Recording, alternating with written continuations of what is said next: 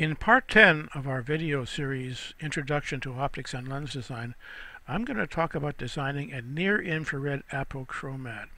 Now this is a very difficult problem for a couple of reasons. Main reasons has to do with the selection of suitable glass types.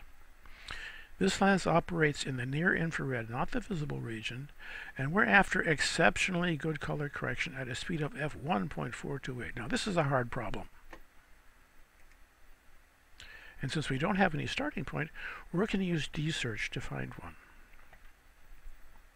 As I said, NIR glasses are difficult because it turns out if you use the kind of glasses that give good color correction in the visible, well, gee, they don't work too well in the near IR. So we need special attention to find uh, suitable glass types. How do you find these? Well, let's find some suitable glasses using the glass map and then use a promising combination when we run D-Search. If you simply run D-Search and let it find glasses with the glass model, you won't find any of these special glasses. So we have to do this differently. We have to examine the glass properties in the near infrared. So open the singlet lens and change the wavelengths to, the, to these wavelengths in the near infrared. Now open the pad display and select the glass table. Select the Schott display, which shows the usual ND and VD map. But in this case, we really want to see what happens in the near infrared. So you're going to click the graph button right there and select the option plot PN3N2 versus VN2 right there. Now we're just using the singlet lens because it's, it's a convenient place to put these three wavelengths. And this brings up a different display. now you can zoom in and with the scroll wheel and um, pan with the right mouse button if you get this, and then click full name to display the the uh, the, the uh, glass names. Now what we want, we need three glasses that do not look like all the others.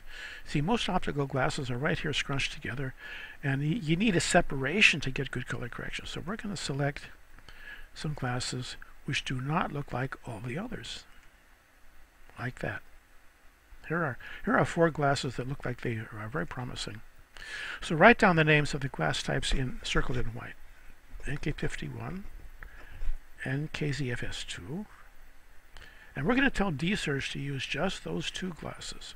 And then we'll also use these other two later on. So write, the, write those names down too. And this is going to be our D-Search input. A core command, D-Search works in multi-core. And here's the input, uh, near infrared example, with our infrared wavelengths. Let's say five elements is our F number, back in total and so on. Um, and we're going to say that for the positive elements, only use this glass. And for the negative elements, only use that glass. That'll make sure that D-Search always uses those two glasses right there.